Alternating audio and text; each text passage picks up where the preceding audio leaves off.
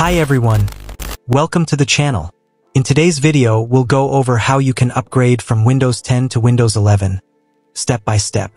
Recently, I showed how to extend Windows 10 updates until 2026, but if you're ready to move on to Windows 11, this guide will cover all the possible methods, including how to install Windows 11 on unsupported PCs.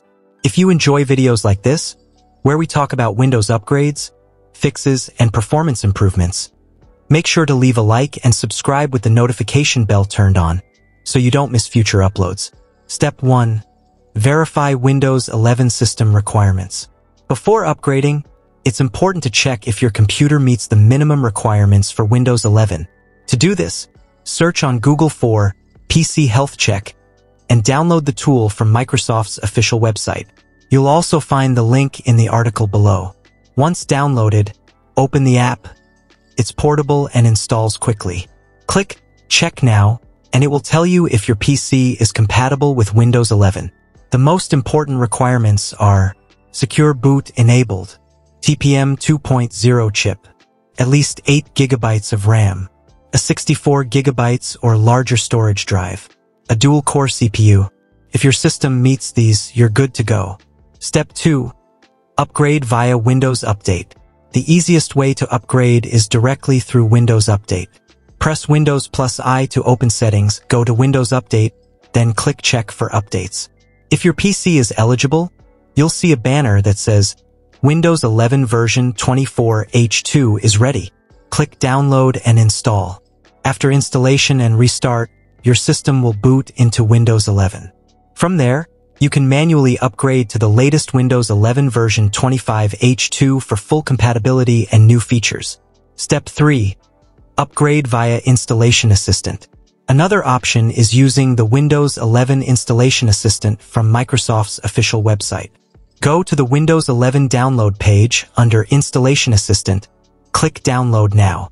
Open the file, allow it to run, and follow the on-screen steps.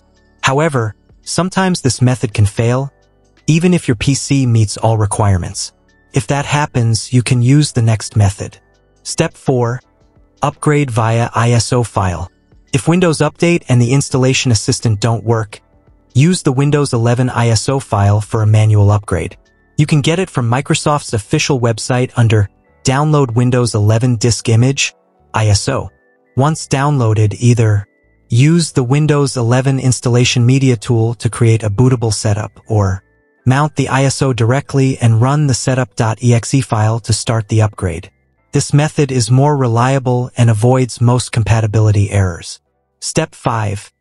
Install Windows 11 on an unsupported PC.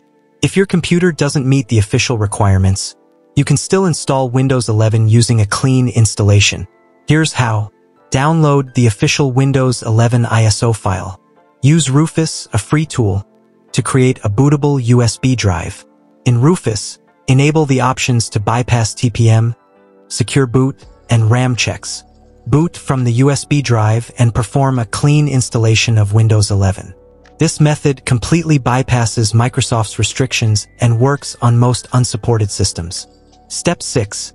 Alternatives stay on Windows 10. If you don't want to upgrade yet, remember that Windows 10 support is ending soon. However, you can still extend security updates until 2026 using the Windows 10 Extended Security Updates, ESU, program. I covered this in detail in another video. These are all the methods you can use to upgrade from Windows 10 to Windows 11, whether your PC is supported or not. If you have any questions, feel free to comment below. If this video helped you, please leave a like and subscribe with notifications on for more helpful Windows tutorials. Thanks for watching and see you in the next one.